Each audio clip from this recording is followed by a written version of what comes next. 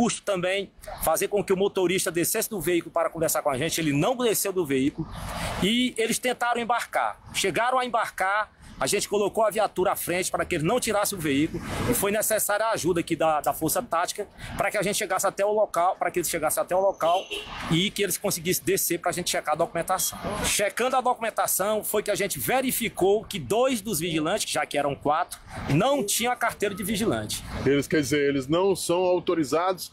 É, o que, que eles estavam fazendo dentro desse carro forte, já que eles não são segurança? Essa também foi a nossa pergunta. A gente não conseguiu entender como que duas pessoas sem, o, sem a habilitação necessária estavam dentro do veículo, portando inclusive uma arma de grosso calibre. A empresa tem conhecimento disso? Os senhores já conseguiram alguma informação se a empresa é, essa, essa empresa de, desse carro forte já tem conhecimento de que esses homens não têm essa habilitação? Ah, essa informação a gente não pode fornecer, já que não teve ninguém da empresa que foi até o local. Até agora ninguém da empresa apareceu.